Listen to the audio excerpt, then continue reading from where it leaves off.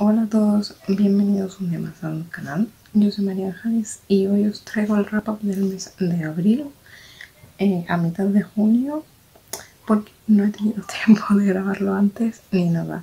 Y me arrepiento un poco porque mm, de los libros de los que voy a hablar me acuerdo mmm, de poco, literalmente. Así que básicamente este es un wrap up en el que voy a hablar un poco de impresiones y cosas que me acuerdo. Espero que no sea muy largo. Aunque hay bastantes libros. A partir de aquí ya fue un mes eh, en el que he tenido que hacer muchísimas cosas para el máster y, todo, entonces no me ha dado tiempo mucho, aunque parezca que sí, pero bueno, no me voy a alargar más y voy a empezar a contar. Primero voy a hablar de los dos libros que abandoné. El primero de ellos es La señora Match, que este era de una lectura conjunta y yo después de la primera tanda comencé la segunda y dije no, no es el momento. Es un thriller que tiene muy buena pinta, era de esta mujer como que empieza a sospechar que su marido hacía algo, pero que yo notaba que no era el momento. No estaba yo muy por leerlo y, y bueno, pues eh, este libro además como que a principios de año, sobre todo por esas fechas y tal, marzo, por ahí, eh, fue un libro que estaba por todos lados. El otro libro que abandoné fue La última descendiente, que es el último libro que ha publicado Rick Riordan. Este me duele. Eh, ah, bueno, si me visto así es que hace un calorazo y no quiero poner aire porque se escucha más el aire que mi voz.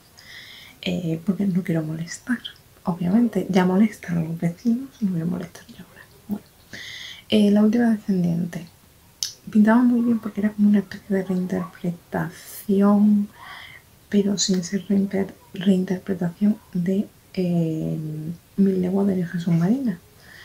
¿Qué pasa? Que yo cuando empecé a leerlo era Percy Jackson otra vez y es como, a ver, Rick, yo me creía que habíamos dejado Percy Jackson aparte eh, en otra vida. Además, había muchas referencias, no solo a Percy Jackson, es que, que, además era todo, se parecía mucho a Percy Jackson. Eh, había referencias a Harry Potter, a otras sagas así, mm, Grey por el estilo, y era como Rick. Y es suficiente que me lo has hecho un poco con eh, la primera roja, que has extendido el campamento mestizo que está Percy Jackson, o sea, los cinco libros de Percy Jackson, los cinco libros del campamento romano, los cinco libros de la prueba de Apolo, ya. Y fue uno de los motivos por los que lo abandoné, porque me estaba otra vez, es que todo. Y iba viendo ahí, esto, pasaba esto, digo yo, es que esto va a pasar por esto, por esto, por esto, por esto. Y, y era igual que Percy Jackson. Y me decepcionaba mucho Así que cuando esté en el mood otra vez, pues lo leeré. Además también me lo leeré cuando me acabe la espada de Apolo. Y eh, toda la trilogía de la primera roja. Y el spin-off de Percy Jackson con los que en plan que juntan todos. Bueno, ya sí, eso más tarde. Y a las lecturas conjuntas os abierto, que me acuerdo de muy pocas. Es que me acuerdo de muy poco de los libros. La primera lectura conjunta es la de Inés y la Alegría, la primera parte de Historia de una guerra interminable, creo que se llama, de Modena Grandes. Eh, tengo que hacer todavía las tablas del segundo libro, porque lo vamos a leer enseguida, pero entre unas cosas y otras no me ha dado tiempo a hacerlas. Eh, el libro me ha gustado mucho, habla, o sea, todo transcurre durante la, la Guerra Civil Española antes, durante y después con el tema del franquismo y todo. Y bueno, pues se centra en el personaje de Inés que pues te va contando un poco todo. Eh, está muy bien, los capítulos son muy largos, hay que leerlo como muy despacio, menos mal que eh, lo leíamos muy pausada en la lectura, o sea, la lectura ha durado bastante tiempo. Y es precisamente porque es que tiene mucha información histórica, eh, mucha... Mm, mucho contenido en cada capítulo y podía ser un poco desbordante si lo mismo decías, venga, este fin de semana me leo el libro este entero. Siguiente. Eh, Más que un verano, la primera parte de eh, la saga esta de las estaciones de Victoria Vilche, Le puse dos estrellas. El libro no me... no. Estamos empezando ahora con el segundo, pero muchísima gente se ha bajado del carro porque este libro es... Se nota que si no es el primer trabajo de Victoria Vicente, es de los primeros. Porque los personajes son tontos, gilipollescos, eh, sosos. No, no, es muy previsible. Eh, es de esta chica que tiene una prima que salía con uno que como que le hace una jugarreta bueno, que no voy a decir lo que es porque tal y, como que todo el mundo le odia por lo que le ha hecho a la chica entonces la protagonista que se llamaba Aria, quiero recordar em, le odia y bueno, ya sabemos. Es un enemy to que yo decía me va a gustar pero nada. No. Que no me ha terminado de convencer. Eh, me interesa, o sea, he seguido porque me interesan mucho los personajes de los hermanos de ella y, como la siguiente historia es de ellos, por lo menos uno de ellos, pues digo, pues mira, voy a empezarlo. Que ya os digo, el de todo el otoño mm, tiene pinta de ir por el mismo camino, pero bueno, llevo solo cuatro capítulos. Y una cosa que no entiendo, y si alguien lo entiende, que me lo explique, es por qué este libro, o sea, toda esta saga, está dividida en dos partes. Cada libro, en plan, libro 1 está parte 1 y parte 2. Libro 2, parte 1 y parte 2. No lo entiendo. Eh, los hilos rojos de la fortuna, la segunda parte del tensorado. Ya os aviso que en el mes de mayo me he leído los otros dos y os lo contaré en mayo. Que si me da tiempo lo grabaré después de esto. No lo sé. Creo que no, por la capacidad que me queda. Así que bueno, os cuento que el segundo libro del tensorado no me gustó. Le puse dos estrellas porque es que em, los noto muy cortos. Los noto que son muy parcos en muchas cosas y que sobre todo para la gente que no conoce la cultura japonesa ni nada de eso, pues como que mm, le falta que me expliques cosas que no me la explican en el primero y bueno, me la explicarán en el segundo, pero igual. Entonces le quito también puntos por eso, porque mm, está bien, pero le falta como profundizar más en, ciertas cosas que yo creo que no profundiza porque se han quedado en short novelas de estas. Pero bueno. El siguiente, eh, Un seductor sin corazón, que creo que es la primera parte de los, de los Ravenel, de eh, Lisa Clippers. Estoy empezando, ya os cuento también porque me acabo de ver el segundo en junio. Mm, me está pasando un poco lo que le pasó a todo lo que leo cuando empezó con las eh, Hathaway, que creo que se leyó un libro o algo así. Y el segundo, creo, no me acuerdo. Mm, mm, pero eh, me ha pasado eh, si escucháis sonidos o eh, cosas que me están mandando whatsapps. Eh, lo que me dije, eh, a Belén de todo lo que le pasó algo parecido, que es como que al final era todo repetitivo y tal. Y a mí me está pasando algo parecido. A este le he puesto tres estrellas. No me convence los Ravener ahora mismo. O sea, esta familia no me convence. No, no le encuentro nada especial, nada tal. Y bueno, pues esto era de que la protagonista se quedaba viuda y vienen los eh, viene el heredero o sea que se ha quedado como heredero de todo eso con su mejor amigo vienen para allá mm. era como un plan mm, a mí no me han caído bien ni él ni ella el amigo me ha caído algo mejor y bueno pero voy a seguir leyéndolos ya que estoy me quedan un poco el libro en ya que estoy aquí ya hasta el final vamos para adelante y, eso pero no que también a ver que también son entretenidos en muy rápido yo en este me salto las tandas porque soy, mm, son normal también os digo pero mm, o sea es como que yo lo comparo por ejemplo con otros libros de, eh, de Lisa Clipas del mismo rollo es decir la Hathaway y la Florero me faltan cosas. Sé si es que los personajes a mí me parecen más planos, me parecen menos carismáticos. Mm, mm, pero va a pasar lo mismo con el segundo libro. Y creo que... Ah, sí, me queda el último. Y el último libro de lectura conjunta ha sido El libro negro de las horas, que es, a ver cómo lo explico. Para leer este libro no es necesario, espera, a ver, el protagonista de este libro es el mismo protagonista que la trilogía del silencio de la ciudad blanca, de la misma autora. Vale, pero para leeros este libro no es necesario leerse la trilogía. Pero si te lees la trilogía antes de leerte este libro, hay easter eggs por ahí que pillas ahí en plan. Así que no os voy a contar de qué va solamente, que bueno, se mm, trata temas muy curiosos e interesantes eh, con el tema del COVID, cómo ha afectado el COVID al sector de los libros, pero no de la forma en la que pensamos, sino de otra forma diferente. El misterio está muy interesante, creo que hay cosas por las que la autora puede tirar para seguir con la historia. Y bueno, pues seguimos a Unai, que es un protagonista que a mí personalmente me cae bien, entonces como que saber más de él me ha gustado y tal. Y bueno, pues está bien, está muy bien, le he puesto cuatro estrellas. Yo me lo he pasado pipa leyéndolo las teorías conspiranoicas que teníamos. Yo es que tenía una que a mí no se me iba hacia la cabeza. ¿Tenía razón? No. Pero eso. Y a mí personalmente me ha gustado mucho. Así, y por lo general, porque esta lo organicé yo en mi club de lectura, eh, por lo general el libro ha gustado bastante y hay gente que no ha leído la trilogía y que se ha leído este libro y que ha empezado a leer la trilogía y todo eso. Así que contenta. Y ahora vamos a la semana temática. La semana temática de este mes ha sido eh, una semana leyendo libros de la biblioteca. Que si lo habéis visto, sabéis que por tiempo no pude ir a la biblioteca.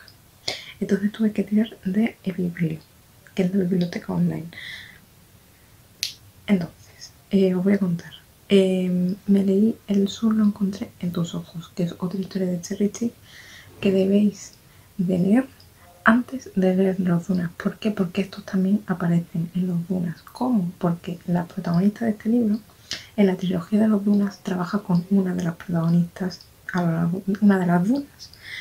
Eh, entonces, pues aparece y tal, y alguna cosilla, pues te cuenta. Esta es la protagonista, creo que se llama Lola, que tiene a su hermano y a sus dos mejores amigos que viven todos juntos en comunidad y tal. Y, bueno, pues ella conoce a un chico que choca mucho con ella y tal en la playa. Vale.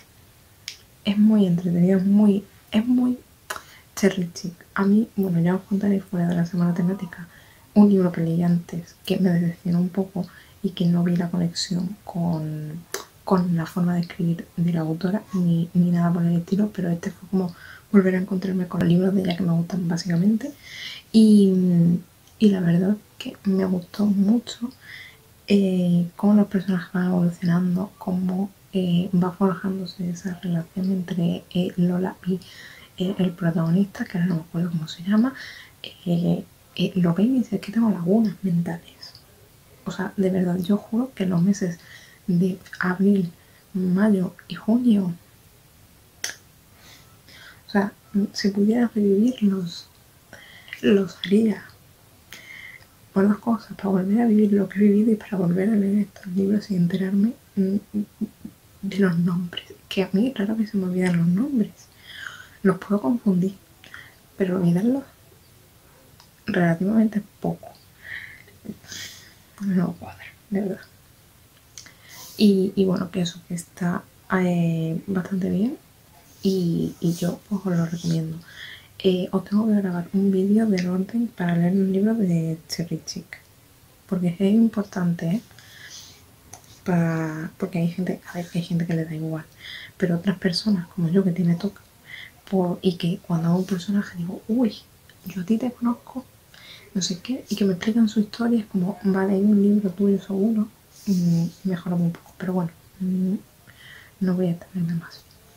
Eh, también me leí eh, Destellos, esta novela gráfica de Jen Wang, era, que es la misma autora que eh, El Príncipe y la Modista. En este caso, pues es una historia entre dos niños, una, bueno, de dos niñas que, que bueno, pues se conocen sus vecinas y tal. Es muy bonita, pero me ha faltado algo eh, le puse donde está cuatro estrellas y creo que le falta un poquito de profundidad. No mucha, porque entiendo el tema. No voy a decir bien de qué va porque os vaya a quedar muertos. Pero la verdad es que me ha gustado mucho salir un momento. Eh, creo que en español está un poco mal traducido. Los dibujos están muy bien. Y, y eso, yo lo, la disfruto muchísimo. Eh, habla mucho el tema de la identidad eh, propia, de encontrarse un poco a sí mismo, de conectar lo mismo con gente que no te esperas y, bueno, y entre otros temas. Eh, ir con cuidado si sois un poquito aprensivos porque podéis llorar. Yo a mí se me encoge el corazón en algún otro momento, pero tal. Y leed eh, como que hay una nota de la autora o algo así. Siempre leed las notas de las autoras y de autores cuando estén, de verdad, os lo juro. Leedlas porque vais a encontrar muchas cosas que lo mismo no sabéis. Y también leí El paciente de Juan Gómez Jurado. Le he puesto tres estrellas. A ver.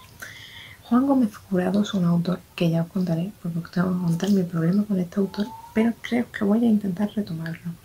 Porque yo empecé leyendo eh, Reina Roja de este señor, ya sabéis que lo abandoné, y si no os lo cuento, lo abandoné por los comentarios que hay en el propio libro sobre ciertos colectivos que se repiten aquí.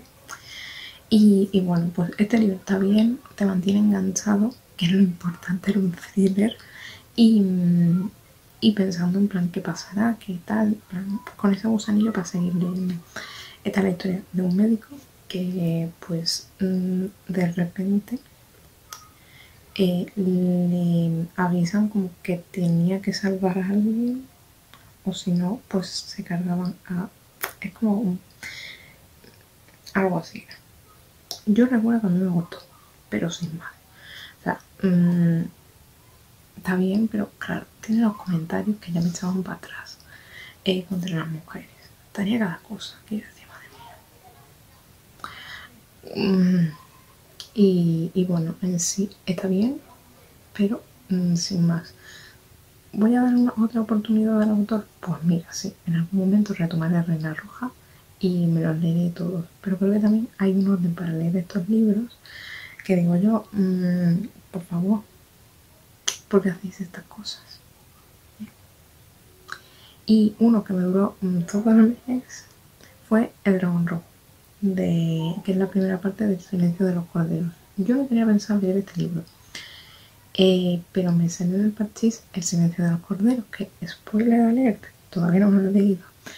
Y, mm, y Estefanía me lo puso por, eh, por un comentario, Estefanía de mi libro y otra historia que me gusta, me puso un comentario que ella había leído el primero y dije, bueno, la semana temática leo el primero. Me duró todo el mes el audiolibro. Que veréis el primer contacto que tenemos con eh, Aníbal Lecter, el famoso asesino de serie de esto, de, series y todo eso. Y bueno, a ver, tres estrellas. Considero que es mejor en torno al final que toda la parte, el, el principio y como mm, el último tercio del libro me gustó muchísimo. En medio, yo que estaba, le decía, bueno, y esto ahora que viene. Creo que lo mismo es que jugó en mi contra el audiolibro, y el que me durara dando tiempo que lo empezara en inglés, luego me pasara en español, luego empezara con más velocidad. ¿Qué hace curro? Y todo eso creo que jugó un poco en mi contra. Pero bueno, no pasa nada. A mí me gustó, estuvo bien. Y, a ver cuándo veré la segunda parte. Bueno, luego ahora, fuera de la semana temática, pues el, que, el otro de Cherry Chick que me leí, que además empecé en marzo y no me dio tiempo a terminarlo, y lo terminé en abril, fue Mantendré las luces encendidas para ti. Este libro es el que menos me gustó de Cherry Chick con diferencia. No sé si así es porque yo ya conocía esta historia, porque eh, los protagonistas de este libro son los padres de la protagonista del libro de eh, que tú y yo la gran idea de era o algo así. Bueno, pues son los padres de la protagonista. ¿Qué pasa? Que ella, cuando conoce al, protagonista masculino, le cuenta toda su historia qué es este libro. Y claro, yo lo estaba leyendo y yo decía, es que ya sé lo que va a pasar, porque ya lo sé. Es un libro que está bien, sin más. Mm, tampoco es que me haya emocionado del todo, no me ha tal. Y bueno, tres estrellas porque está bien, pero mm, sin más tampoco. O sea, comparado con otras cosas de Chevy que se lo disfruto muy poco. Y creo que ya me quedan solo los dos últimos libros, que eh, son eh, Por culpa de mi proyecto y Un marido inventado. La primera y la segunda parte de Los Rockets de Julia Quinn. ¿Qué me ha gustado de esta historia? De los dos libros estos. Eh, le he puesto cuatro estrellas, lo he disfrutado muchísimo. Creo que yo soy del team Julia Quinn Mm, me gusta mucho más Julia eh, que Lisa Clipas. Yo creo que es en este momento, por, no sé por qué. Y bueno, pues los Rockabilly son como los em, antepasados de, mm, de los Bridgerton. bueno, son como no, son los antepasados de los Bridgerton. Es una precuela de los Bridgerton, pero no hace falta leerse estos antes de los Bridgerton. No. Y bueno, pues en el de por de mi Bridgerton, pues tenemos a eh, mi Bridgerton, que ahora no me acuerdo cómo se llama, con el, mayor de los Rockabilly, que bueno, pues se llama muy mal y todo eso, y bueno, ya sabemos. Pero me gusta más el segundo, porque el segundo es el sello, porque resulta que uno de los Rockabilly pues eh, está en la guerra, eh, aparece herido y aparece por allí la hermana de su mejor amigo y dice que es su marido. Madre mía. Y él no se acuerda de nada. Y yo, madre mía. Porque ella va allí buscando a su hermano, porque no le dicen dónde está. Y yo, madre mía. Este me lo pasé súper bien. Creo que me lo leí este más rápido que el, que el primero, pero los dos me lo leí muy rápido. Fue un soplo de fresco para la época en la que estaba, eh, que necesitaba ese tipo de, libros y tal. Y me ha dado mucha pena en marzo, en marzo no en mayo, que me propuse leer los dos últimos y no me los he leído. Así estamos. Pero bueno, ya de junio no pasa. Y bueno, pues ya está. Hasta aquí el vídeo de hoy. Espero que os haya gustado, aunque haya sido todo mm, muy exterior tal, plan, muy como por encima todo, pero bueno, ya está, es lo que sinceramente. Y, eso. Si, si, es la primera vez que estáis por aquí, eh, os recomiendo suscribiros al canal para ver más vídeos chachis y vídeos como este. Dejadme en los comentarios todo lo que queráis y dadle like, obviamente. Y bueno, pues ya con esto me despido y nos vemos en un próximo vídeo. Adiós.